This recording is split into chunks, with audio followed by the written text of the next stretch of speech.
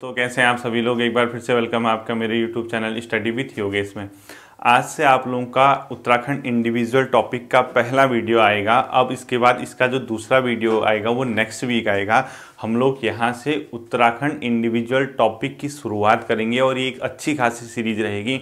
कम से कम इसमें 25 वीडियो आएँगे और आपके लिए बहुत महत्वपूर्ण होगी और उसी के साथ हमारा उत्तराखंड का सेशन कंप्लीट हो जाएगा, ठीक है? तो टाइम ज़्यादा थोड़ा सा लेंदी वीडियो हो सकती है, इसलिए मैं इसको शुरुआत करता हूँ। आप लोग हेडिंग डाल लीजिए उत्तराखंड में परिवहन तंत्र। अब इसी के अंदर मैं आपको यहाँ के जो नेशनल हाईवे है, जो अपडेट वाला है, वो भी समझा दूँगा। तो आपने हेडिंग डालनी है उत्तराखंड का परिवहन तंत्र, ठीक है? अब बताइए, परिवहन तंत्र के अंदर किसी भी राज्य हो, राष्ट्र हो या अंतर्राष्ट्रीय स्तर पर कोई भी देश हो क्या क्या एक प्रकार के उसका परिवहन के सोर्स हो सकते हैं? यानी कैसे वो परिवहन तंत्र को आगे बढ़ाएगा? या तो उसके पास क्या होगा? सड़क मार्ग होगा।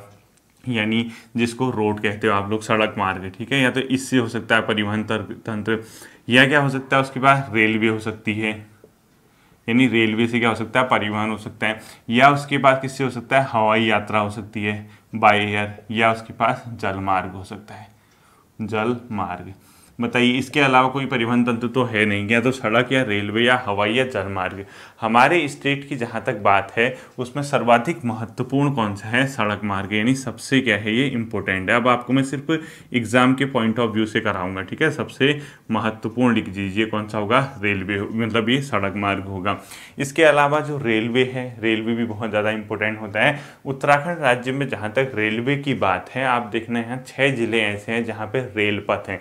तो क्वेश्चन क्वेश्चन आपसे पूछता है कि उत्तराखंड के कितने जिलों में आपको रेल पथ देखने को मिलेगी? आप बता देना। छह जिलों में रेल पथ लिख लीजिए। छह जिलों में रेल पथ छह जिलों में रेल पथ यहाँ आपको देखने को मिलेगी। और ये जो छह ज़िले हैं, इनके नेम पूछता है कभी कभी कि किस ज़िले में उत्तराखंड की आपको रेलवे नहीं देखने को मिलती है। तो वहाँ पे ध्यान रखना। तो कौन कौन से होंगे, खुद ही बताइए। जो प्लेन से के ज़िले होंगे तो सीधे सीधे वो नाम तो लिखना ही है आपको। जैसे एक देहरादून लिख लीजिए आप। पहला क्या लिखना है आपको? देहरादून लिखना है। दूसरा कहाँ लिखोगे आप? हरिद्वार। हरिद्वार में भी क्या है? रेलवे पथ है। तीसरा क्या लिखोगे? मैदानी जिला यूएस नगर, यानी उधम सिंह नगर लिख लीजिए। उधम सिंह नगर लिख लीजिए। चौथा कहाँ लिखोगे? उसी के बगल में चंपावत। चंपावत में जो है टनकपुर के आसपास रेलवे है, ठीक है? और पांचवा लिख लीजिए नैनीताल। नैनीताल के ब्रैकेट में लिख लीजिए काठगोदाम और हल्द्वानी। नैनीताल। और अंतिम लिख लीजिए आप पौड़ी गढ़वाल। क्या लिखोगे? पौड़ी गढ़वाल पौड़ी गढ़वाल के ब्रैकेट में कोट द्वार। कोट द्वार। ये अपने आप में जो है कोटद्वार हो गया, यानी पौड़ी गढ़वाल में, नैनीताल में कौन कौन से, हल्द्वानी और काठगोदाम, चंपावत में, टनकपुर, देहरादून, हरिद्वार और उधम सिंह नगर, इन जिलों में उत्तराखंड में क्या है रेल पथ हैं। और सबसे अधिक जो रेल पथ हैं, वो सर्वाधिक कहाँ हैं, हरिद्वार में। तो हरिद्वार के साथ सर्वाधिक रेल पथ लिख देना और पौड़ी में सबसे कम रेल पथ लिख देना। सबसे कम। पौड़ी गढ़वाल के साथ क्या लिखोगे? सबसे कम रेल पथ लिखोगे, जबकि हरिद्वार के साथ रेल पथ क्या लिखोगे? सबसे ज़्यादा रेल पथ लिखोगे, सर्वाधिक रेल पथ, सबसे ज़्यादा। ठीक है? ये सबसे ज़्यादा रेलपथ हरिद्वार में बता देना। सबसे कम रेलपथ कहाँ बताओगे आप लोग? पौड़ी गढ़वाल में। ये क्या था यहाँ का रेलपथ वाला सिस्टम अब इसमें क्या है? एक बहुत महत्वपूर्ण रेल परियोजना है हमारे पहाड़ के लिए। वो टनकपुर से बागेश्वर की है, जिसको भारत सरकार के द्वारा सन दो हज़ार बारह में राष्ट्रीय परियोजना घोषित किया गया था। नहीं, राष्ट्रीय राष्ट्र के तहत दिया गया था। इसका क्या मतलब होता है कि उसका जो खर्च होगा वो कौन उठाएगी? केंद्र सरकार। तो अगला लिख लीजिए एक point Tanakpur Bageshwar railway line को, टनकपुर बागेश्वर रेलवे लाइन को 2012 में राष्ट्रीय परियोजना घोषित किया गया। कब लिखोगे? 2012 में राष्ट्रीय परियोजना। 2012 में राष्ट्रीय परियोजना घोषित किया गया। इसका क्या मतलब है कि सीधी सीधी बात है, इसका जो खर्च होगा वो कौन उठाएगी? केंद्र सरकार उठाएगी। तो पॉइंट पूरा लिखना, टनकपुर बागेश्वर परियोजना को 2012 में आपका क्या घोषित किया गया? राष्ट्रीय परियोजना घोषित किया। आपने पूरा इसमें क्या लिखना है? एक पॉइंट लिखना है। इसके अलावा देखिए कुछ यहाँ पे क्या हो सकता है, हवाई। हवाई का तो आपको पता है बाई एयर है। उसमें आपसे क्या क्वेश्चन पूछता है, कहाँ कहाँ पे उत्तराखंड में क्या है, हवाई पट्टियाँ हैं।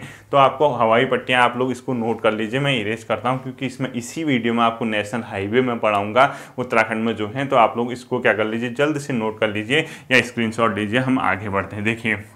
हवाई यात्रा का जहाँ तक सवाल है, उत्तराखंड में सर्व, जो हवाई आपके पूछे जाते हैं, उसके हवाई पट्टियाँ कहाँ पे हैं, वो देखना। देखिए, यहाँ कहाँ कहाँ हैं। एक तो है जॉली ग्रांट, ये कहाँ पड़ता है? देहरादून में। जॉली ग्रांट, ये क्वेश्चन ऐसे ही पूछता है, ठीक है? ये कहाँ है? दून में, देहरादून ज़िले में। दूसरा लिख लीजिए पंतनगर। अब ये सारे नामों से आप वाकिफ हैं, इनको आपने मैप में अच्छे से सीखा है। ये कहाँ पड़ेगा? यूएस नगर में। तीसरा कहाँ लिखेंगे आप? पिथौरागढ़ में नैनी सैनी। नैनी सैनी। ये कहाँ पड़ेगा? पिथौरागढ़ में, ठीक है? ये पड़ेगा आपका पिथौरागढ़ में। और इसके अलावा कौन सा लिखोगे आप? एक गौचर लिख लीजिए। गौचर कहाँ पड़ेगा? चमोली में। गौचर हवाई कहाँ पड़ेगा? चमोली में। और एक अंतिम लिख लीजिए चिन्याली सौड़ जो पड़ता है उत्तरकाशी में। क्या लिखोगे? चिन्याली सौड़ चिन्याली सौड़ ये पड़ेगा आपका उत्तरकाशी में। उत्तरकाशी अब आपसे यहाँ से क्या क्वेश्चन पूछता है कि कहाँ रेलवे आपको ये, कहाँ हवाई मतलब पट्टी देखने को मिलती है, नहीं मिलती है? जॉली ग्रांडी मैचिंग में भी आते हैं, देहरादून, पंतनगर, जो है यूएस नगर में पड़ता है, नैनी सैनी जो पड़ता है, पिथौरागढ़ में चिन्यालीस और पड़ता है उत्तरकाशी में, गौचर है अपना, चमोली। यानी यहाँ पे पाँच जिलों में आपको हवाई पट्टियाँ देखने को मिलेंगी, ठीक है? ये आप लोगों को ध्यान रखने की पाँच जिलों में है।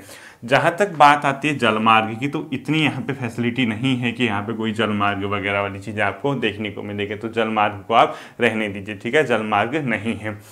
रेलवे वाली जहाँ तक बात थी, रेलवे का क्या होता है, एक बहुत महत्वपूर्ण योगदान होता है, आप सभी लोग जानते हैं, कहीं भी अगर आप जाएँगे तो रेलवे अपने आप में बहुत ज़्यादा क्या रखता है इंपॉर्टेंट रोल प्ले करता है। उसी के अंदर जैसे देहरादून के बारे में कभी ये आप लोग नोट कर लेना, देहरादून रेलवे स्टेशन के बारे में पूछा जाता है। सन उन्नीस ईस्वी में उसको बनाया गया था और वो उत्तर भारत में उत्तर रेलवे का अंतिम रेलवे स्टेशन बताया जाता है। तो अगला पॉइंट यहाँ पर आप लिखोगे, देहरादून रेलवे स्टेशन की स्थापना। ये क्वेश्चन कभी कभी पूछे जा सकते हैं आपके, ठीक है? जो देहरादून रेलवे स्टेशन है, Dehradun railway station railway station, ये कब बना था? ये बना था आपका सन 1900 में और लिख लीजिए इसके ब्रैकेट में, उत्तर भारत में, उत्तर भारत में मतलब उत्तर भारत में लिख लीजिए उत्तर भारत की जगह उत्तराखंड में लिख लीजिए आप, क्या लिखोगे उत्तर भारत की जगह? उत्तराखंड में लिख लीजिए, उत्तराखंड में उत्तर रेलवे का, उत्तर रेलवे का अंतिम रेलवे स्टेशन, उत्तर रेलवे का अंतिम इस रेलवे स्टेशन जो बना था, ठीक है? अंतिम रेलवे स्टेशन जिसको बनाया गया था, ये कब बना था? सन 1900 में। ये देहरादून रेलवे स्टेशन। और ये अपने आप में बहुत ज़्यादा क्या है, प्रसिद्ध भी है, बहुत इसको जाना जाता है। इसको आई का भी दर्जा मिला, यानी अंतर्राष्ट्रीय गुणवत्ता देखी जाती है। जिसको 2003 में आई प्रमाण पत्र मिला, इसको लिख लीजिए। सन 2003 में आई प्रमाण पत्र आई एस ओ प्रमाण पत्र। अब आईएसओ क्या होता है? एक प्रकार का ये मान के चले कि अंतर्राष्ट्रीय गुणवत्ता, कुछ मतलब उसकी गुणवत्ता होगी, उसके अकॉर्डिंग वो प्रमाण पत्र दिया जाता है। इसको कब दिया गया था? अपने आप में सन 2003 में दिया गया था। तो रेलवे स्टेशन, हवाई और जलमार्ग का हमने ज़्यादा नहीं देखना ही। तो खाली एक प्रकार का इंट्रोडक्शन था आप लोगों के लिए कि हाँ आपका ये भी उत्तराखंड में देखने को चीज़ें मिलती हैं। अब देखिए, सबसे महत्वपूर्ण चीज़ जो आपकी एग्ज़ाम की दृष्टि से मैं इसको इरेज करता हूँ, उसको इम्पोर्टेंट कर दीजिए सड़क परिवहन। इसी सड़क परिवहन में आपको मैं क्या पढ़ाऊँगा? यहाँ पे नेशनल हाईवे है तो उसको मोस्ट इंपोर्टेंट कर देना सड़क परिवहन, ठीक है? सड़क परिवहन हेडिंग डाल लीजिए उसको मोस्ट इंपोर्टेंट करेंगे। परिवहन तंत्र में क्या हेडिंग डालेंगे? सड़क परिवहन तंत्र। सड़क परिवहन तंत्र। देखिए, सड़क परिवहन तंत्र यहाँ पर क्या है? उत्तराखंड में कुछ ऐसी बॉडी है या कुछ ऐसी चीज़ें हैं जो इसको रेगुलेट करती हैं? कुछ मात्रा में कुमाऊँ और मोटर्स ऑनर्स यूनियन चलाता है, कुछ मात्रा में जीएमओयू चलाता है, यानी गढ़वाल मोटर्स ऑनर्स यूनियन चलाता है, आपने देखा भी होगा। कुमाऊँ वगैरह में जो केमू के की बसा कहते हैं आप। गढ़वाल में जीएमओयू की वैसा कहते हैं, वो अधिकतर क्या करते हैं, सड़क परिवहन यानी बसों का संचालन उनके द्वारा किया जाता है। एक प्रकार की कंपनी है जो बसों को चलाने का कार्य करती है। इसके अलावा कुछ मात्रा में जो सड़क परिवहन तंत्र किया जाता है, देखो, इधर ऐसे करोगे, कुछ मात्रा में लिखोगे। कुछ मात्रा में। यानी जो कुछ मात्रा में इस सड़क परिवहन को चलाता है, वो कौन चलाता है? एक तो सड़क परिवहन निगम चलाता है, कुछ कुमाऊं मंडल विकास निगम की गाड़ियाँ भी चलती हैं, कुछ गढ़वाल मंडल विकास निगम की भी बहुत कम मात्रा में, यानी बहुत कम मात्रा में क्या चलता है? एक तो सड़क परिवहन निगम चलाता है। सड़क परिवहन निगम चलाता है, ठीक है? थोड़ा बहुत क्या चलाता है इसको? गढ़वाल मंडल विकास निगम और कुछ कुमाऊं मंडल विकास निगम। इनके द्वारा जो गाड़ियाँ चलाई जाती हैं बहुत कम मात्रा में चलाई जाती है। ये आपका इंपॉर्टेंट भी नहीं है। आप लोगों ने ये नोट किया होगा, कुछ मात्रा में सड़क परिवहन निगम के द्वारा, कुछ गढ़वाल मंडल विकास निगम, कुछ कुमाऊं मंडल विकास निगम। मेनली जो यहाँ पे गाड़ियाँ चलाई जाती हैं, वो किसके द्वारा चलाई जाती है, ये लिख लीजिए। Garhwal G M O U पूरा फुल फॉर्म लिखोगे। गढ़वाल मोटर ऑनर यूनियन दूसरा K M O you Kumaon motors owners union, ठीक है? पूरा ये लिखोगे आप। जीएमओयू और केएमओयू के द्वारा यहाँ पर अधिकांश क्या होता है? बसों का या गाड़ियों का संचालन किया जाता है। इसका पूरा नाम लिखोगे आप। Garhwal motor owners union, Kumaon motors owners union. जो Garhwal motors union, owners union था, ये कब बना था? ये क्वेश्चन आपसे पूछता है। नाइनटीन में इसकी स्थापना की गई थी। नाइनटीन में और इसका मुख्यालय है? कोटद्वार में। यानी कोटद्वार में इसका क्या हुआ था? गठन हुआ था। कोटद्वार पौड़ी में। और जो आपका के है, कुमाऊं मंडल और मतलब कुमाऊं मोटर्स ऑनियर्स यूनियन, ये 1939 में बना था और इसका कहाँ है? काठ गोदाम में। काठ गोदाम में, ठीक है? इसका क्या है? देखने को आपको मिलेगा। अब देखिए, ये अधिकांश तो बच्चों का यहाँ अधिकांश सड़क परिवहन का संचालन इन्हीं के द्वारा किया जाता है। अधिकांश संचालन इन्हीं के द्वारा किया जाता है, संचालन। ये तो नॉर्मल सी चीज़ है, ये सभी को आता है, अधिकांश संचालन इनके द्वारा किया जाता है, कुछ मात्रा में इनके द्वारा। अब देखिए, हमने पढ़ना है नेशनल हाईवे हम कैसे कैटेगराइज करेंगे कौन नेशनल हाईवे है, कौन नहीं है, ये हमने पढ़ना है। आप एक बेसिक चीज़ बताता हूँ, एक लिख लीजिए बेसिक चीज़ लिख लीजिए बेसिक चीज़ें पता होनी चाहिए। आपने मील के पत्थर देखे होंगे, रोड के किनारे वगैरह, ठीक है? जैसे जिस मेल के पत्थर में आपने हरा कलर लिखा होगा, यानी हरे हरे बोर्ड लगे होंगे मूल मील के पत्थर में, इतना किलोमीटर ये वो, हरा कलर किस चीज़ का इंडिकेशन है, आपको ऐसे ही बता रहा हूँ, ठीक है? हरा कलर है, ये बताया था कि स्टेट हाईवे है। State highway. यानी जो हरा कलर जहाँ लगा होगा, जिस मील के पत्थर में, उसका ये मतलब वो रोड है, वो राज्य सरकार के अंदर है, स्टेट हाईवे। है येल्लो अगर आपको दिखता है, पीला कलर पीला कलर किस चीज़ का इंडिकेशन करता है आप लोगों का? तो येल्लो कलर है। येल्लो कलर आपका किसमें देखने को मिलेगा? जो येल्लो कलर है, वो आपका देखने को मिलता है पीला कलर, ठीक है? पीला किसके अंदर देखने को मिलेगा? नेशनल हाईवे के अंदर, यानी राष्ट्रीय राजमार्ग। N A T I O N A L national highway यानी नेशनल हाईवे के अंदर आपको येलो कलर देखने को मिलेगा, हरा किसके अंदर देखने को मिलेगा स्टेट हाईवे इसका सीधा सीधा पहचान है। एक ऑरेंज कलर भी देखने को मिलता है, वो जो मील के पत्थर होते हैं, उसका ये मतलब है, वो रोड है, किसी ग्रामीण इलाके की ओर जा रही है और वो प्रधानमंत्री ग्रामीण सड़क योजना के अंतर्गत बनाई गई है। तो ऑरेंज कलर लिख लीजिए आप। ऑरेंज कलर लिखोगे, किसके अंदर? प्रधानमंत्री ग्रामीण सड़क योजना। सड़क योजना, यानी पी पीएमजीएसवाई यानी प्रधानमंत्री ग्रामीण सड़क योजना के अंदर दिखेगा ऑरेंज कलर के, जहाँ मील के पत्थर दिखते हैं। और एक अंतिम आता है आपका, काला मतलब या नीला दिखेगा, इसका मतलब वो ज़िले के अंदर आती है, ठीक है? ब्लैक यानी काला ऑब्लिक नीला जो कलर होगा, वो सीधे सीधे बात है ज़िले के अंदर। क्या आता है वो? ज़िले के अंदर आता है। ये तो एक बेसिक इंट्रोडक्शन था। अब मोस्ट इंपोर्टेंट हेडिंग डाल लीजिए उत्तराखंड में अवस्थित नेशनल हाईवे मोस्ट इंपोर्टेंट कर देना। हेडिंग डालनी है उत्तराखंड में नेशनल हाईवे और मैंने आप लोगों के लिए एक मैप बना दिया है। इसको जल्दबाजी बिल्कुल मत करना। जैसा समझाऊँगा वैसे चलना। इसको तेज करने की कोशिश मत करना। वहीं के वहीं बेहोश हो जाओगे जिस हाईवे पे चल रहे हो, ठीक है? जल्दबाजी मत करना। सबसे पहले कुछ फैक्ट्री लिखा रहा हूँ, वो लिख लीजिए। और उसको मैं स्पेस नहीं है, इसलिए यहाँ नहीं लिखा पाऊँगा। पहला फैक्ट्री लिख लीजिए। राज्य निर्माण के समय उत्तराखंड में नौ नेशनल हाईवे थे? कितने थे? नौ। ध्यान से सुनना। राज्य निर्माण के समय उत्तराखंड में हाईवे पूछेगा तो नौ थे। वर्तमान वर्तमान में 2018 का लास्ट अपडेट है, कहाँ पर भारत सरकार का जो राष्ट्रीय राजमार्ग, वो मतलब अथॉरिटी है, वो जो देखती है नेशनल हाईवे को, उसकी साइट पे जाना 30 मतलब नवंबर के आसपास 2018 में अपडेट है तो उसमें 18 दिखा रहा है। तो वर्तमान में नेशनल हाईवे कहेगा, यहाँ पे लिख देता हूँ, ठीक है? राज्य निर्माण के समय कितने थे? नौ थे। वर्तमान में कितने? अठारह। हो सकता है कि इनकी आपसे लेंथ पूछ दे, कोई भरोसा नहीं उत्तराखंड के एग्ज़ाम पे तो इनकी टोटल जो लंबाई है, इसको लिख लीजिए, दो किलोमीटर। कितना लिखोगे दो किलोमीटर। टोटल लंबाई लिख लीजिए, दो तीन किलोमीटर। इसकी क्या थी? टोटल लंबाई है। दो हज़ार किलोमीटर। कैसे करोगे? उसी तरीके जैसे मैं लिखता हूँ। अब मेरे पास स्पेस नहीं है, इसलिए मैं नहीं लिख पा रहा हूँ। सबसे लंबा जो एन एच है एन लिख लीजिए। वर्तमान में उत्तराखंड का सबसे लंबा नेशनल हाईवे है एन क्या लिखोगे? वर्तमान में उत्तराखंड का सबसे लंबा एनएच कौन सा है? National highway national highway number seven है। हो सकता है कि इसकी लेंथ पूछ दी। ये है लगभग चार किलोमीटर। एन एच सेवन के ब्रैकेट में लिख देना, चार किलोमीटर। ये सबसे ज़्यादा लंबा है और सबसे छोटा नेशनल हाईवे जो है यहाँ पे वो एन एच तीन सौ सात है। तो सबसे छोटा नेशनल हाईवे लिखना एन एच तीन सौ सात।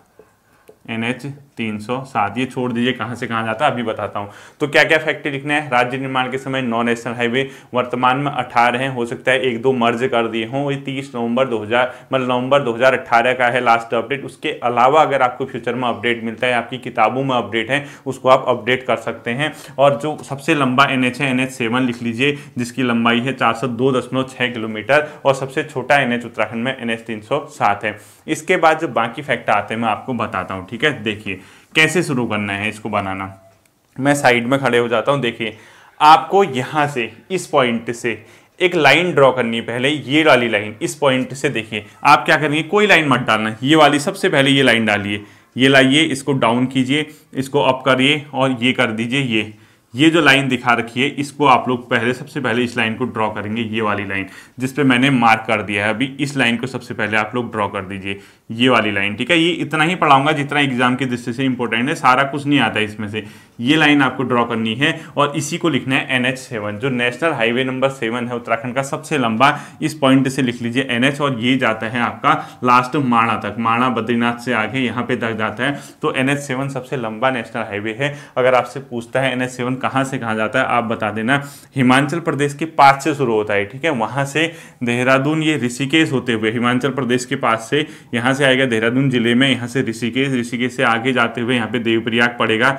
यहाँ पे लिख लीजिए देवप्रयाग, यहाँ से श्रीनगर श्रीनगर से रुद्रप्रयाग रुद्रप्रयाग से बद्रीनाथ माणा, ठीक है? ये पूरा का पूरा नेशनल हाईवे सेवन है। आप लोगों ने इसको नोट कर लिया होगा। पहला, इफ़ इसी नेशनल हाईवे में आप क्या करेंगे, जहाँ आपने रुद्रप्रयाग लिखा है, यहाँ से डाल दीजिए एक नेशनल हाईवे एन एच जो कि कहाँ जाता है? गुप्तकाशी वगैरह की ओर जाता है। केदारनाथ तक तो पूरी रोड नहीं जाती, यानी केदारनाथ अगर आपको जाना होगा, इसी NH से जाओगे तो यहाँ पे रुद्रप्रयाग लिखने के बाद एन एच एक लिख लीजिए, और ऊपर केदारनाथ लिखना है। यहाँ क्या गुप्तकाशी वगैरह जो भी हैं, आप लोग मैप अच्छी तरह से आपको मैंने जिला सीरीज़ इसीलिए पढ़ाई है ताकि आपकी ईजिली समझ आ जाए, क्योंकि ये उत्तराखंड के मैप में ऐसा दिखाना तो पॉसिबल ही नहीं है। कैसे दिखा दोगे? बताओ इस टाइप का डायग्राम ये आपका पॉसिबल नहीं है, ठीक है? यहाँ तक का जो पोर्सन है, नीचे अगर आपको नहीं दिख रहा होगा, मैं आपको उसको दिखा दूँगा, ठीक है? तो रुद्रप्रयाग, यहाँ केदारनाथ लिखना है। अब इससे पहले क्या करोगे? इधर श्रीनगर लिखोगे। कहाँ? रुद्रप्रयाग से जस्ट पहले श्रीनगर। श्रीनगर में आपको एक एनएच मिलाना है इस पोर्शन से। ये वाली लाइन ड्रॉ करो, इधर वाली।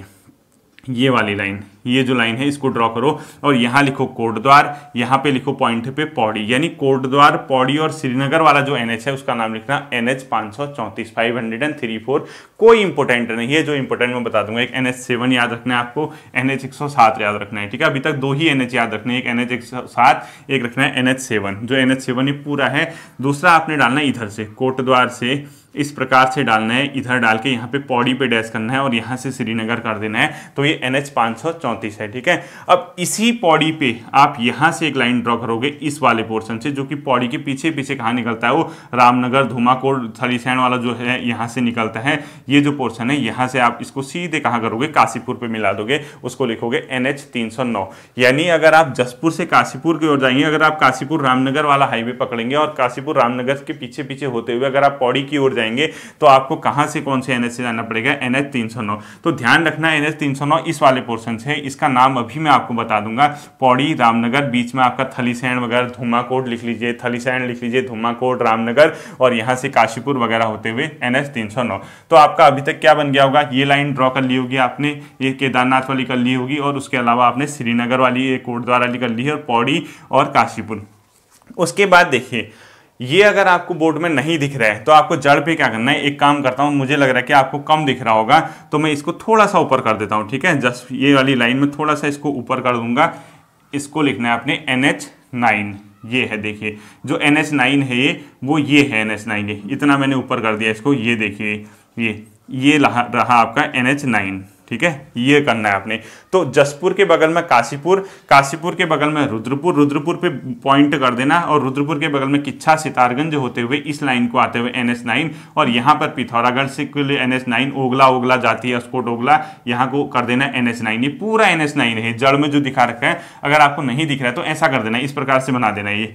यहाँ से नीचे नहीं दिख रहा तो यहाँ ऐसा कर देना, यहाँ जसपुर लिख देना, यहाँ काशीपुर लिख देना, यहाँ पे रुद्रपुर लिख देना, फिर किच्छा होते हुए फिर कुछ नहीं है वहाँ पे, ऐसे करना है आपको। तो उसके लिए आपने जो एनएस का नाम लिखना है, उस एन का नाम है एन एच तो एन एच आपका ये है, पूरा पिथौरागढ़ वाला जो एन है, ये काशीपुर वगैरह से जो जाता है, रुद्रपुर, किच्छा, सितारगंज, पिथौरागढ़ होते हुए एन एच जाता है, ठीक है? अब एन एच जैसे पिथौरागढ़ पहुंचोगे, पिथौरागढ़ से तो आगे को गया एन एच वो इधर जब बागेश्वर की ओर आओगे, आपने आगे को बढ़ाना है, इसको 309 का ए कर देना है, जो कि यहाँ बागेश्वर जाएगा। सब नाम नहीं लिखने आपको, बस इतना ही करना है, ठीक है? यहाँ बागेश्वर जाएगा। बागेश्वर के बाद आपको ये वाला जो पोर्शन है, ये, यहाँ ताकुला हो गया, ताकुला के बाद आप आगे आओगे, यहाँ पे ताकुला लिख लीजिए। सब जिला मैप में बनता है, ठीक है? ताकुला ताकुला के बाद अल्मोड़ा। यहाँ पे आपने क्या दिखाना है? अल्मोड़ा दिखाना है। अल्मोड़ा जहाँ दिखाया है, इससे आप फिर नीचे को आएँगे। अल्मोड़ा से नीचे को एन एच आ जाएगा। और 109 कहाँ से शुरू होगा? वो रुद्रपुर से होगा। ये रुद्रपुर से आपने क्या लिखा? एन एच लिख लीजिए इसको। रुद्रपुर हल्द्वानी होते हुए नैनीताल, भवाली होते हुए अल्मोड़ा जो जाएगा, ये जाएगा एन एच 109 यानी एनएस नंबर 109 कहाँ से जाएगा आपका? ये रुद्रपुर होते हुए हल्द्वानी जाएगा, नैनीताल और भवाली, भीमताल होते हुए अल्मोड़ा 109 पहुंचेगा।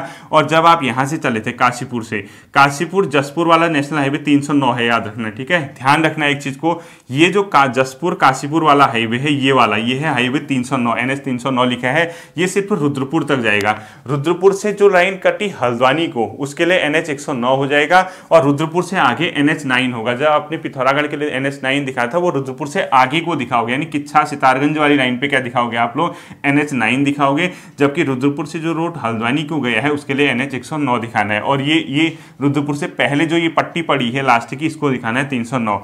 और ये आप लोगों ने दिखा लिया होगा, ये भी अपने आप में कौन सा है? तीन सौ नौ है, ठीक है? ये पूरा क्या है, तीन सौ नौ है। तो देखिए जब आप अल्मोड़ा पहुँचे उस रोड से होते हुए, अल्मोड़ा से अगला जो जाता है वो इस दिशा में जाता है, इसको बोलते हैं 109 नंबर का, जो कि यहाँ रानीखेत, यहाँ लिख लीजिए द्वाराहाट, यहाँ चौखुटिया, यहाँ गैरसैंड वगैरह लिखेंगे पूरा, उसके बाद आदि बद्री उसके बाद कर्णप्रयाग। इस प्रकार से आप लोगों ने लिखना है और कर्णप्रयाग के पास ही एन से मिल जाता है। यहाँ पे क्या लिखोगे आप? कर्णप्रयाग।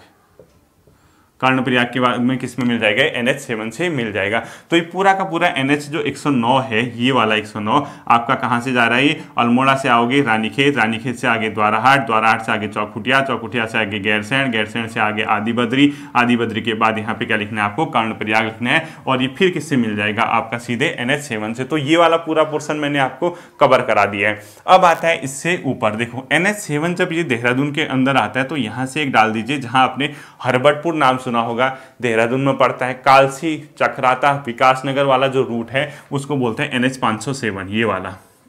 कालसी, यहाँ लिख लीजिए हरबटपुर, सबसे पहले हरबटपुर लिख लीजिए इधर। इसके बाद विकास नगर, इसके बाद कालसी, इसके बाद ये आगे जाके बड़कोट पे जाके एक सौ चौंतीस से मिल जाएगा। यानी यहाँ से ये 507 गया, यहाँ से 134 और आगे यमुनोत्री की ओर कौन सा चला जाएगा? 134 और यहाँ से जो 134 है, इस दिशा से मिलता है 134 और ये जो गंगोत्री वाला है, वो सिर्फ़ 34 है ये। यहाँ से गया गंगोत्री गंगोत्री के नीचे आप लोगों को पता है पूजा बड़कोट है उत्तरकाशी, यहाँ पे लिख लीजिए उत्तरकाशी उत्तरकाशी, यहाँ लिख लीजिए बड़कोट। ये ये बड़कोट वगैरह, भड़कोट वगैरह जो भी है इधर का, ठीक है? जो गंगोत्री से आप उत्तरकाशी की ओर आएँगे, उत्तरकाशी का मैप देखना वो। फिर इसके बाद जब आता है एन एच चौंतीस, यहाँ से नीचे सीधे ऋषिकेश में मिल जाता है एन एच चौंतीस। यहाँ किससे मिल जाएगा? एन एच चौंतीस। अब देखिए ये ऊपर का लगभग आपका सारा क्या हो गया? नेशनल हाईवे वाला पोर्सन कवर हो गया। अब आता है आपका ये वाला, देखिए, हरिद्वार वाला जो है ये, इसको है three hundred and forty four, ये। तीन सौ चौवालीस नंबर का एनएच है, कुछ इंपॉर्टेंट नहीं है ये। ये तीन सौ चौवालीस लिख लीजिए। इसके बाद जो यहाँ पे लिखना आपको हरिद्वार, और ये सीधे कहाँ मिल जाता है? एन सेवन से मिल जाता है। और एक छोटा सा एन एच है, तीन जो सबसे छोटा है, वो कहाँ है? इस पोर्सन पे। कहाँ से किसको जोड़ता है? कुछ नहीं पूछेगा। आप बताइए कहाँ किसको जोड़ेगा ये? देहरादून के आसपास मिल रहा है। ऑप्शन खुद ही आपको समझ आ जाएगा। देहरादून के आसपास मिल रहा है। ये कहीं यूपी वगैरह के इलाके से ऐसे आ रहे हैं एन एच तीन सौ सात। आपको इतना देखने की ज़रूरत नहीं है। दो छोटे छोटे जो एन एच तीन सौ चौवालीस में एक रुड़की से आ जाता है, रूट एक मंगलोर से आ जाता है, एन एच चौंतीस ये इस प्रकार से एन एच चौंतीस जो है यहाँ से मिल जाता है आपसे किससे? रुड़की वगैरह मंगलौर, ये हरिद्वार से मिल जाता है। यहाँ मंगलौर है, यहाँ रुड़की है। तो आपका नेशनल हाईवे का जो पोर्शन है, वो इतना ही आपको ध्यान रखना आपके पेपर में तो बहुत सीमित सी चीज़ें पूछता हो। वो क्या पूछता है? केदारनाथ के लिए कौन सा पकड़ोगे? कि याद रखना, एन एच ठीक है? ज़्यादा नहीं याद रखने। सबसे लंबा पूछेगा, आपको याद रखना है एन एच सेवन सबसे लंबा है। यमुनोत्री की ओर कौन सा जाएगा, आप पूछेगा तो एन एच एक सौ चौंतीस याद रखना। गंगोत्री की ओर जाएगा, पूछेगा तो एन एच चौंतीस याद रखना। कितना सिंपल है, देखो। सबसे बड़ा बद्रीनाथ की ओर जा रहे हैं, सात। उसमें सौ जोड़ो, एक सौ सात को इसके लिए हो जाएगा केदारनाथ। यानी सौ ऐड कर देना है। गंगोत्री के लिए कौन सा जाता है? Thirty four. उसमें सौ ऐड करो, एक सौ चौंतीस कितना हो गया? यमुनोत्री के लिए। तो यमुनोत्री के लिए और एक छोटा हाईवे एन एच सात सौ सात भी है उत्तराखंड में। ये भी आपको पूछेगा नहीं, कुछ हमने ध्यान नहीं रखना है। बाकी आपको देखो पौड़ी ये वाला पूछता है, अगर श्रीनगर ये कोटद्वार, पौड़ी वगैरह वाला, ये एन एच पाँच सौ चौंतीस आपको पता चल गया। रामनगर होते हुए अगर आप यहाँ पे धूमाकोट और उसके अलावा थलीसैंड वगैरह जाएँगे तो एन एच 309 आपको यहाँ देखने को मिलेगा। ये एन एच 309 हो गया। काशीपुर, जसपुर वाला है, पूरा 309 है। और रुद्रपुर के बाद जो है, आगे को जाता है जो एन एच नाइन हो जाता है पिथौरागढ़ की ओर। ये एन एच नाइन हो जाता है, ये पिथौरागढ़ की ओर एन एच नाइन। जैसे ही पिथौरागढ़ को क्रॉस करोगे तो एन एच तीन सौ नौ का ए हो जाएगा और अल्मोड़ा तक एन एच तीन सौ नौ का ए ही चलेगा। एन एच तीन सौ नौ का ए चलेगा। उसके बाद आप जैसे ही अल्मोड़ा पहुँचे, अल्मोड़ा से एक चला गया 109 वाला, जो कि रानीखेत लिख लीजिए। यहाँ आपको द्वाराहाट लिखना है, यहाँ चौखुटिया लिखना है, यहाँ पे गैरसैन लिखना है, यहाँ पे कर्ण, ये आपका आदिबद्री लिखना है, यहाँ कर्णप्रयाग लिख देना है, ठीक है? ये वाला, ये पोर्सन और यहाँ से एन, अल्मोड़ा से पहले कौन सा मिल रहा है? एन एच एन एच एक सौ नौ मिल रहा है, जो कि रुद्रपुर से आ रहा है, रुद्रपुर हल्द्वानी होते हुए आपका इससे मिल रहा है। और ये वाला आपका कौन सा है? ये, इतना ही तो आपका नेशनल हाईवे है, कौन सा इतना परेशान होते रहते हो? पाँच सौ सात वाला ये है। इसके अलावा आपको कुछ नहीं देखना है। एग्ज़ाम पॉइंट ऑफ़ व्यू से इतना क्या है? काफ़ी है। इसके ज़्यादा देखोगे तो पागल हो जाओगे, क्योंकि हमें यही पता करना होता है कि चारों धामों में मेन मेन हाईवे कौन से है? सबसे बड़ा कौन सा है? सबसे छोटा कौन सा है? और ये आपको बताया। अब बताइए, कभी पिथौरागढ़ टनकपुर वाला पूछता है तो एन एच नाइन ही तो होगा। अब आपको उत्तराखंड का मैप जिला सीरीज़ याद होगा तो आप गैस करके भी क्या कर लेंगे? सारा का सारा बना लेंगे। अब आप क्या काम करोगे? ध्यान से सुनो। आप लोगों को क्या काम करना है? नेट में गूगल में एक सर्च मानना सभी लोग ध्यान देना। क्या लिखोगे? Road map of Uttarakhand. Road map of Uttarakhand. तो वो रोड मैप ऑफ़ उत्तराखंड करोगे तो उसमें जो ऊपर में आता है ना ऑल वीडियो या मतलब इमेज वाला तो आपको इमेज वाले सेक्शन में क्लिक करना है। इमेज वाले से उसको डाउनलोड कर लेना। डाउनलोड करोगे तो आपका ये एनएस वाला पूरा पोर्सन मिल जाएगा। एग्ज़ाम के लिए इतना काफ़ी है, ठीक है? पूरा स्क्रीन ले लीजिए। अपनी तरीके से एक बार कोशिश करना, आपका काम बन जाएगा। इसका आप लोग क्या ले लेंगे? स्क्रीन ले लेंगे और गूगल मैप से इसको डाउनलोड कर लेंगे, देख लीजिए, ठीक है? ये था आज का आपका पहला सेशन जिसका नाम था उत्तराखंड इंडिविजुअल टॉपिक सीरीज़ का पहला टॉपिक इसके बाद नेक्स्ट वीक आपका अगला टॉपिक आएगा, एक ही टॉपिक उत्तराखंड का आएगा और हम लोग पाँच अप्रैल से देखते हैं। अब वर्ल्ड इतिहास के साथ फिर मिलता हूँ। आपके साथ ध्यान रखिए। Thank you